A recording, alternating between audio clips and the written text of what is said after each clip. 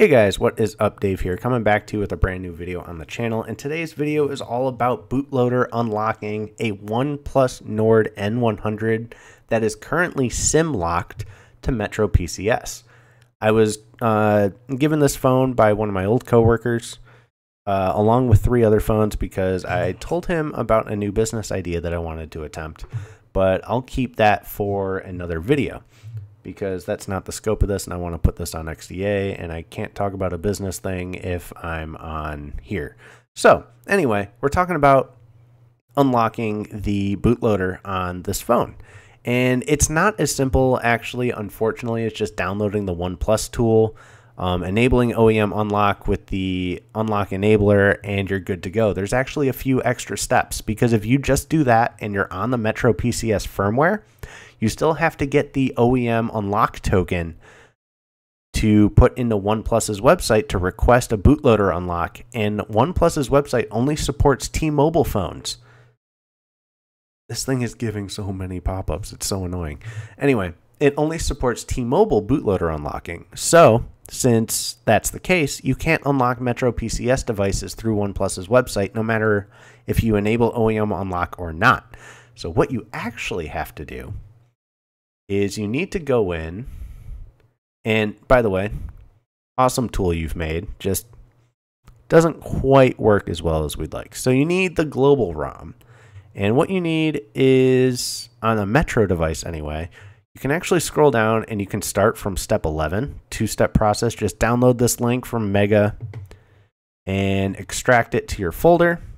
And then you want to run this MSM download tool, V4, put it to other, and there you go. So the other issue is some computers do not actually have the driver available for uh, the EDL mode to be recognized by this tool. So what you actually have to do is you have to download it from somewhere. And I actually linked it in this thread in a response because I realized it wasn't linked anywhere on this thread.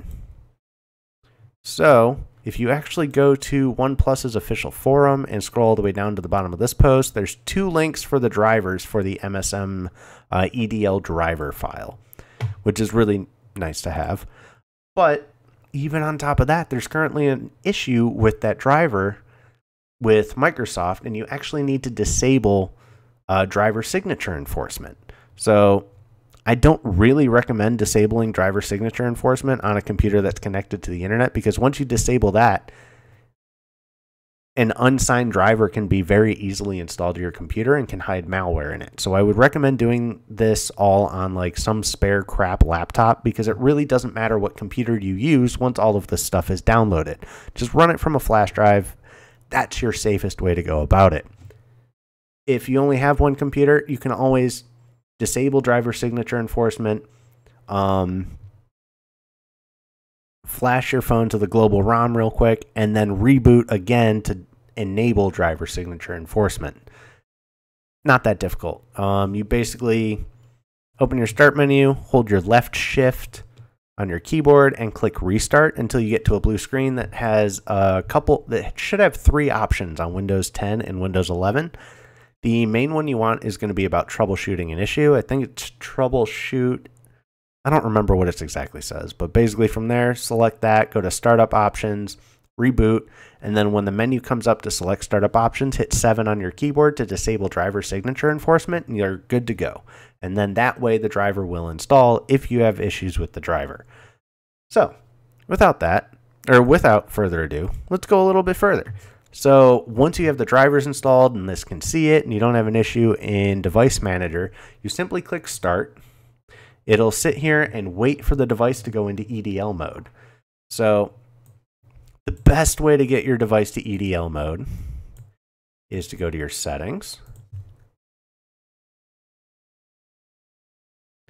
Go to your developer options, which is going to be just click your build number a bunch of times go to developer options. And the best way to go about it is enable advanced reboot. That way, when you click the. Uh, I don't like that.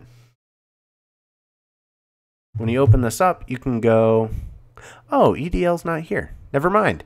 So enable, um, I thought it was, my bad. Enable USB debugging, plug it into the computer, um, allow it to connect to the computer, and then open up and have ADB set up on your computer and do ADB reboot EDL, and that'll go to EDL mode.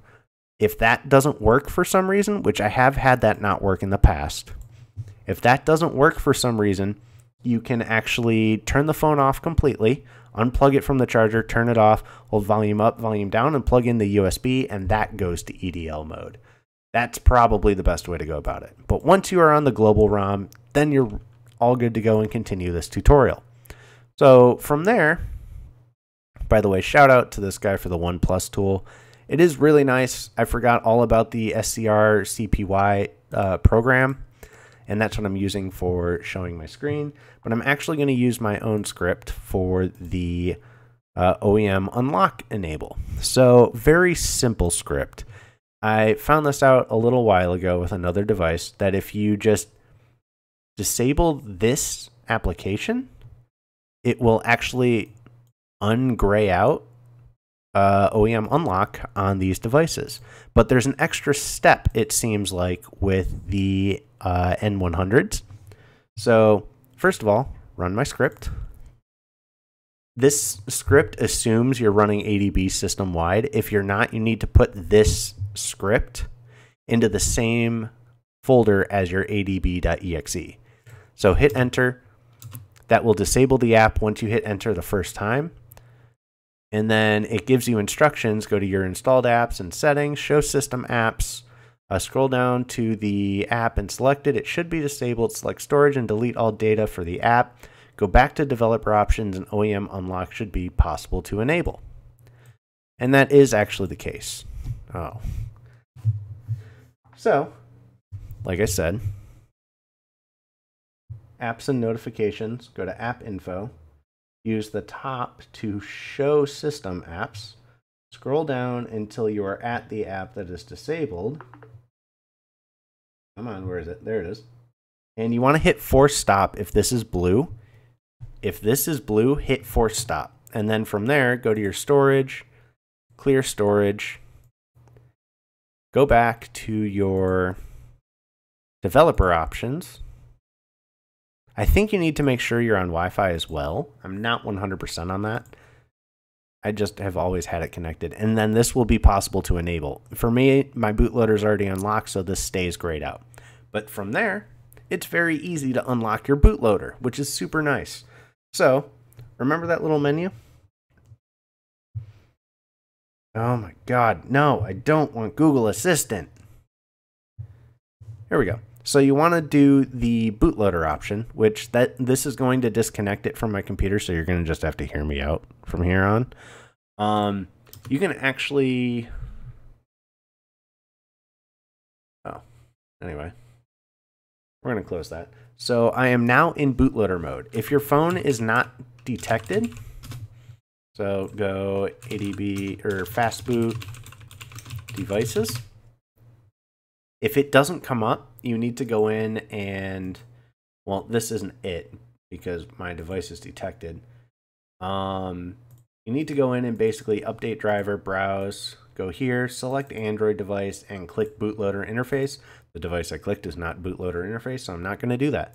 But from there, it will detect it, and you can do fastboot devices again, and it shows up. So now, from here, you do fastboot OEM unlock, my device is already unlocked. It'll bring up a pop up on your screen and you can click unlock this device. It will fully uh, wipe the device. Then let it fully reboot or you will run into options. From there, once it reboots, you can actually just get the Oppo decrypt file, open up the uh, decrypt this file, pull out the boot uh, file. I'll actually, I'll do it real quick. Um, give me one second.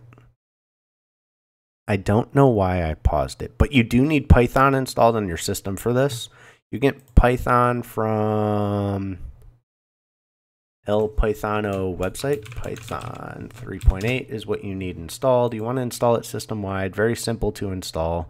Just scroll down until you see the executable uh, file right there. Download it, select to add it to your system path, and then you're good to go.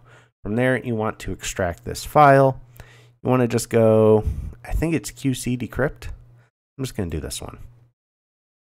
That's not right. All right, open CMD in this folder. Do Python. Oh, you know what I forgot is we need PIP3 requirements.txt. I forget how to do this. Luckily, there's a README. Wow, Notepad++ is mad at me. There we go.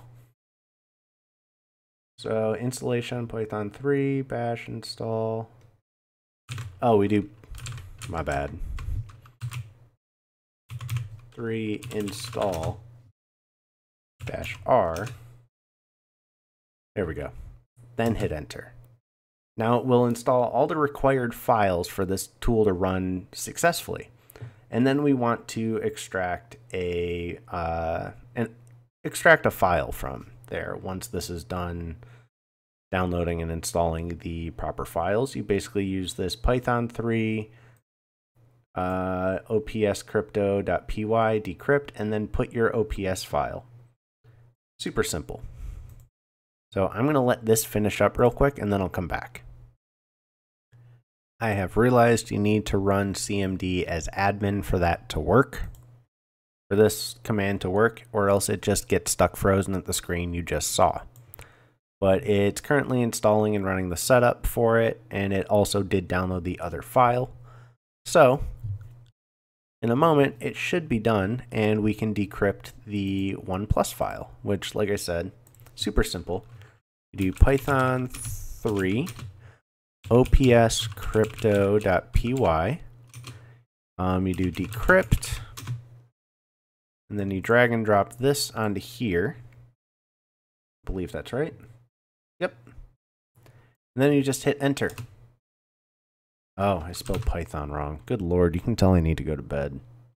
I've been at this phone for hours. Why can't... Can, do I have to just type Python? Ah, there it goes. Yeah, just type Python. I guess it just kind of depends on your setup. But as you can see, it's currently extracting all these files. If I hit F5... Don't hit F5. Don't be in the folder while it's doing it. It makes you run super slow and stupid. Anyway, these are the files that have been extracted so far. Super is going to take a while. System will take a while. It is what it is. As you can see, they are here though. So the bin dot uh, img or boot.img is the one we are going to end up wanting. And we are going to need Magisk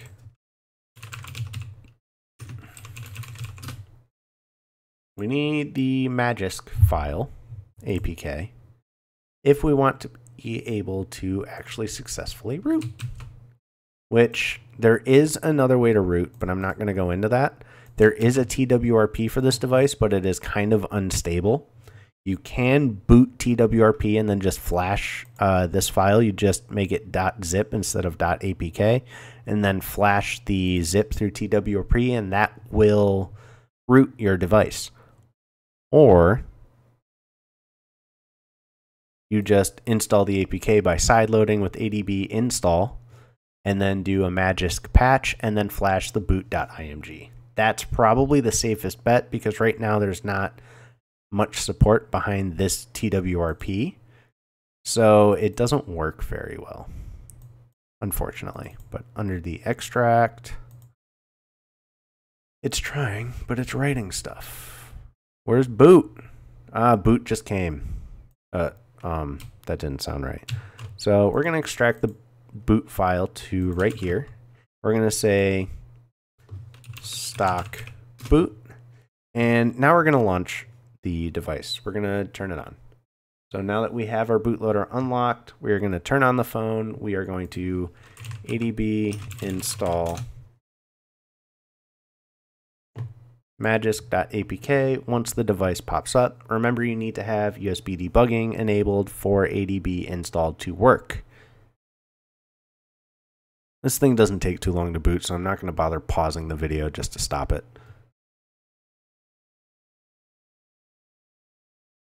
There we go. And booted.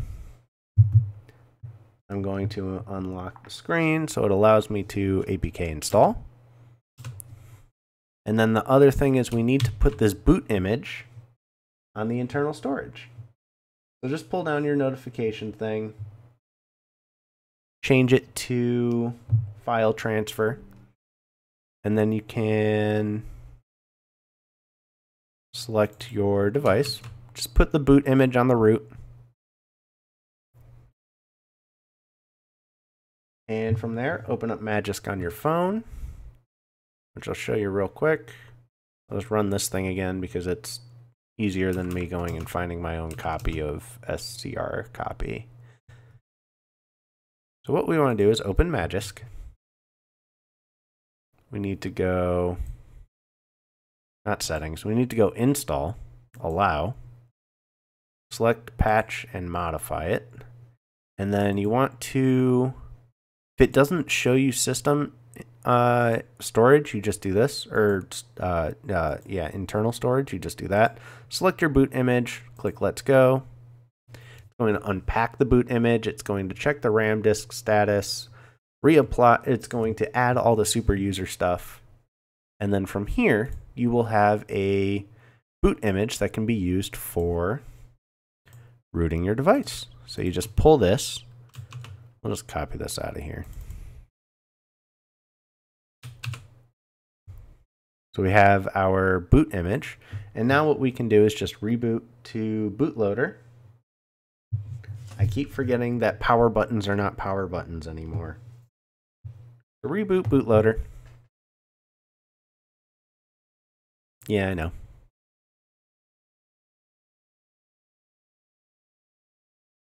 There we go. And then just do fast boot, flash, boot. And now you are completely bootloader unlocked and rooted on a Metro PCS Sim locked OnePlus Nord N100. Congratulations. Just restart your phone. You are rooted. So anyway, I hope you guys enjoyed the tutorial. Pretty easy. Took it that one step further because I wanted this thing rooted, but I really want to get a GSI ROM working on it. And when I do finally get one, I will let you guys know. So, anyway, I'll talk to you guys later. Peace out.